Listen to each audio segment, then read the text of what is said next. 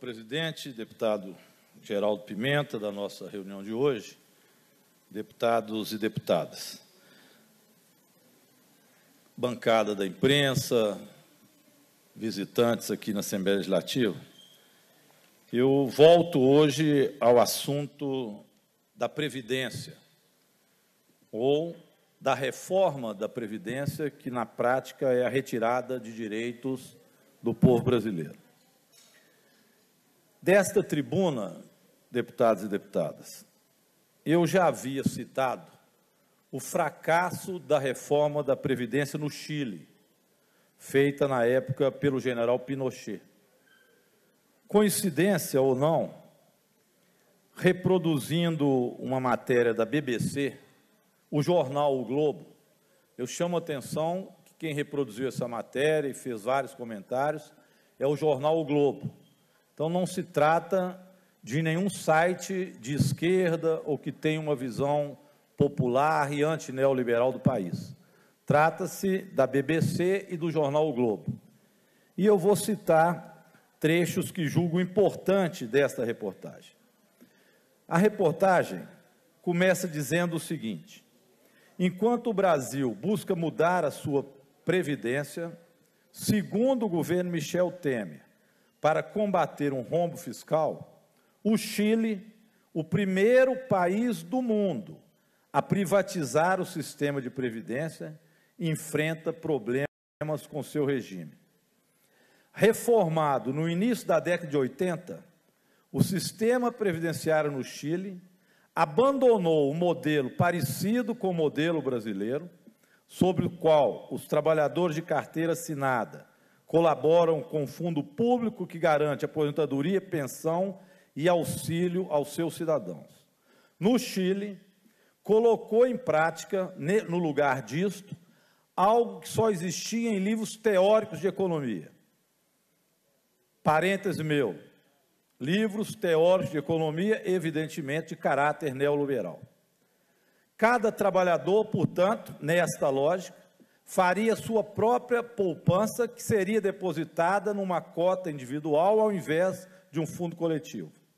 Enquanto fica guardado, o dinheiro é administrado por empresas privadas.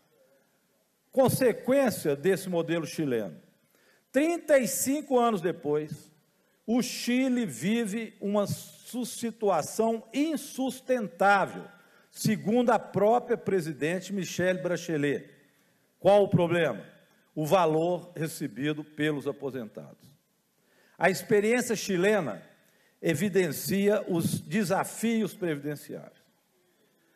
Diz o jornal o Globo, deputado Carlos Pimenta, como as reformas previdenciárias são polêmicas, impopulares e politicamente difíceis de fazer, não surpreende que essa mudança profunda, inédita no mundo, na ocasião no Chile, tenha sido feita pelo Chile em 1981, durante a ditadura de Augusto Pinochet. Claro, né?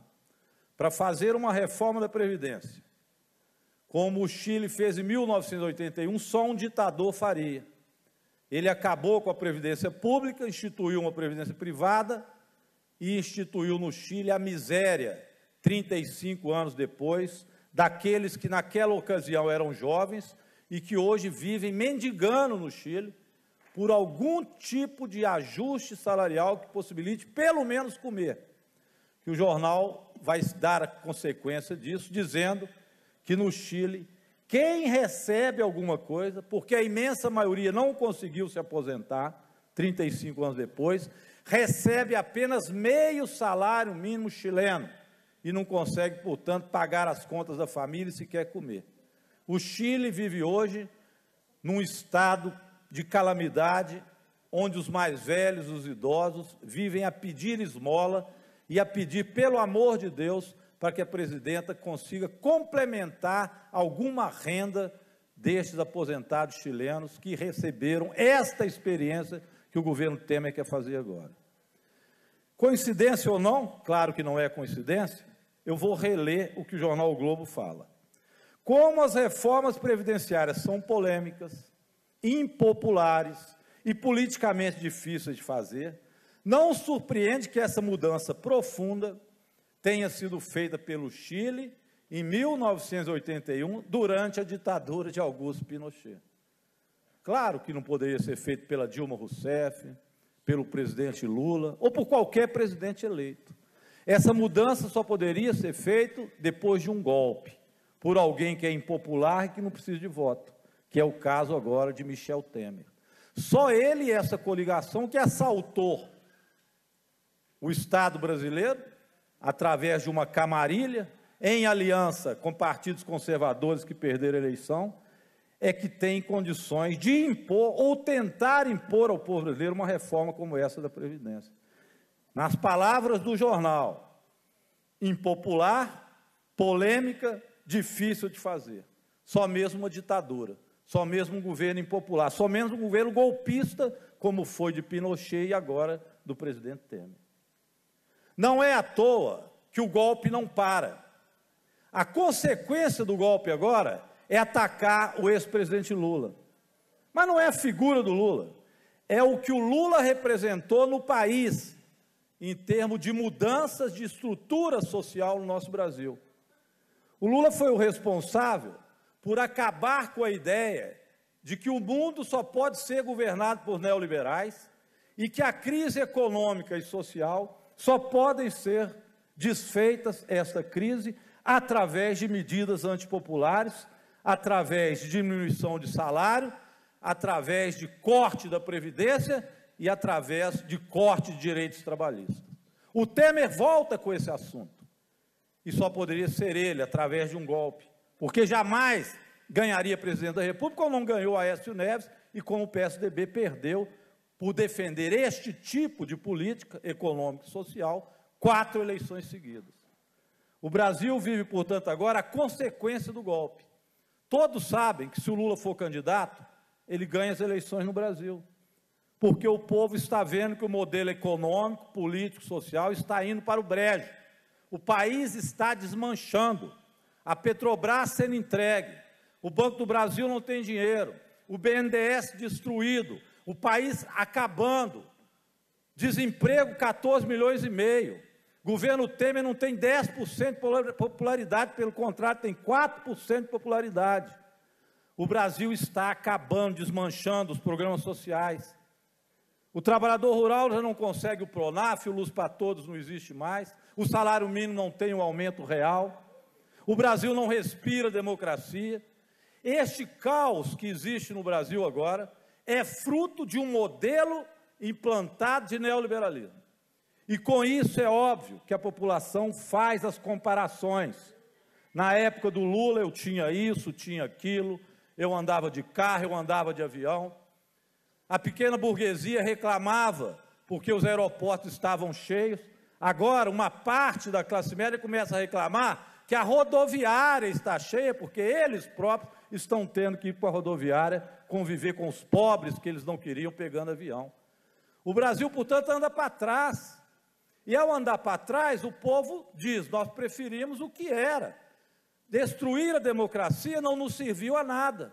E o presidente Lula é chamado, me desmitam se forem capazes, em especial no Brasil mais pobre, deu uma andada pelo norte de Minas, pelo Vale de Jequitinhonha e conversa com as pessoas, pelo Nordeste brasileiro, e vão ver que os trabalhadores rurais, os operários, os trabalhadores, as professoras, os trabalhadores de maneira geral, reclamam que o Brasil está caminhando para trás e que isso não pode continuar.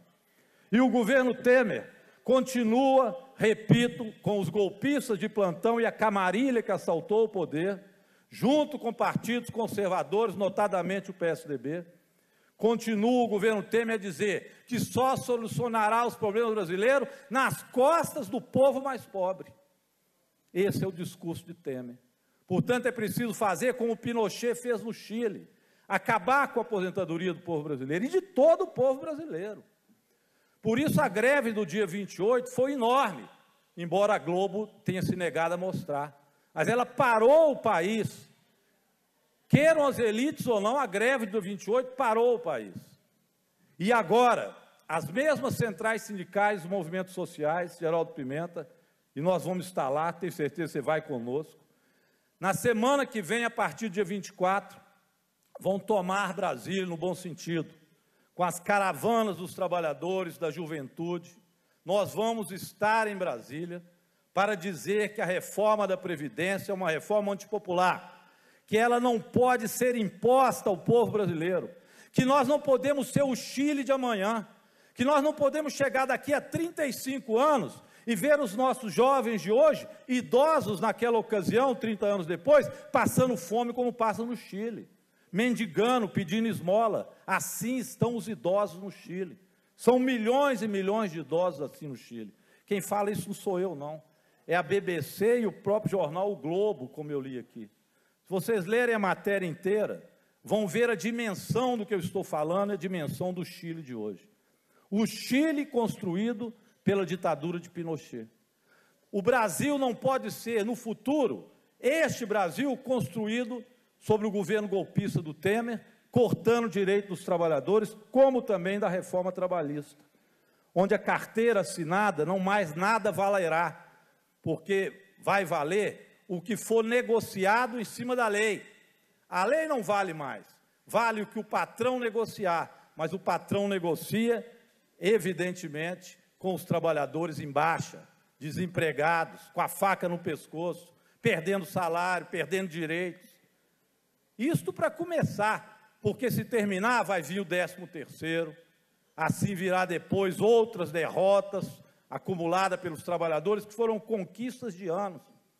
Conquistas no Brasil da época de Getúlio Vargas, que inaugurou aqui aquilo que nós chamamos de trabalhismo histórico, que foi a vitória do povo brasileiro naquela época, que teve como consequência João Goulart, Brizola, saudade que dá de Brizola. Se Brizola tivesse aqui, provavelmente a nossa resistência teria sido maior. Se o Lula tivesse escutado Brizola, não tinha deixado a Globo fazer o que fez. E agora a Globo quer fechar o Lula, como quer fechar o Instituto Lula, com atos autoritários de um ju juiz eco de primeira instância, que tem partido político, tem opinião política, e que quer simplesmente impedir que o presidente Lula e que o Brasil tenha um candidato popular.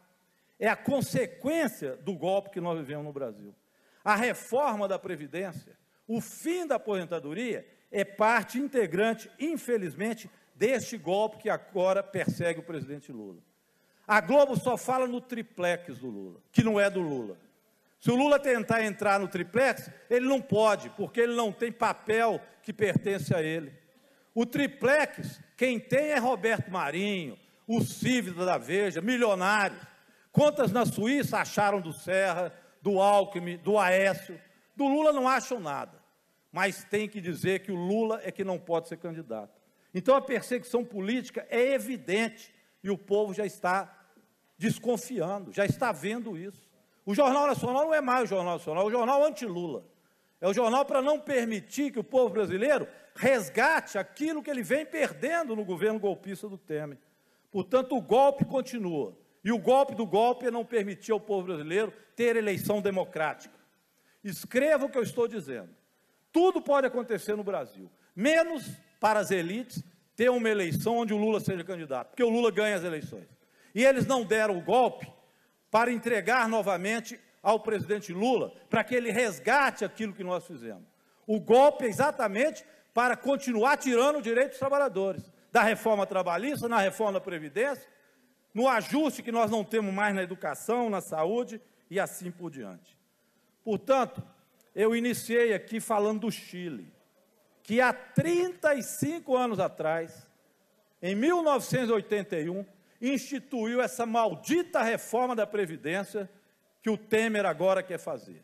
Um governo autoritário no Chile, um governo autoritário agora. Aclamado pela grande imprensa, pela mídia e pelas elites brasileiras, que querem destruir o direito dos trabalhadores. A semelhança é exatamente essa: governo autoritário para retirar direitos. O Chile de hoje não pode vir a ser o Brasil amanhã. O Brasil não pode chegar amanhã, 30 anos depois, com os idosos pedindo esmola. A presidente Brachelet tem tomado medidas agora de dar mais meio salário mínimo para o idoso não morrer de fome, como tem morrido no Chile de hoje. Reflexo da previdência privada que foi imposta aos chilenos na época do ditador Pinochet. Semana que vem nós vamos estar em Brasília.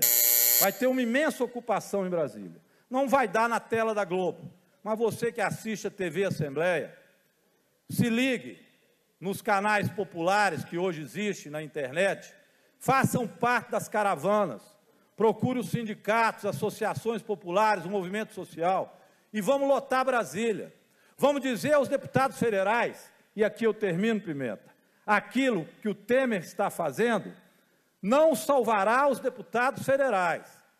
Aqueles bilhões que ele está oferecendo de isenção para latifundiários e bancada ruralista, aqueles bilhões que ele está dando de isenção para grandes empresários que estão em Brasília, para destruir a reforma da Previdência, vai destruir o mandato desses parlamentares, porque o povo está de olho em cada um deputado federal que votar contra essa aposentadoria. Senhor presidente, era isso que eu tinha para falar por hoje. Não deu tempo de eu falar sobre o governo de Minas, sobre o Adveb, volta a essa tribuna depois, tem notícias boas em Minas Gerais, especialmente para os professores, num esforço conjunto da Assembleia Legislativa. Mas é necessário que a semana que vem, todos nós estejamos em Brasília para repudiar o golpe e para defender a aposentadoria e os direitos do trabalhador brasileiro. Obrigado, presidente. Com a palavra, o deputado Carlos Pimenta.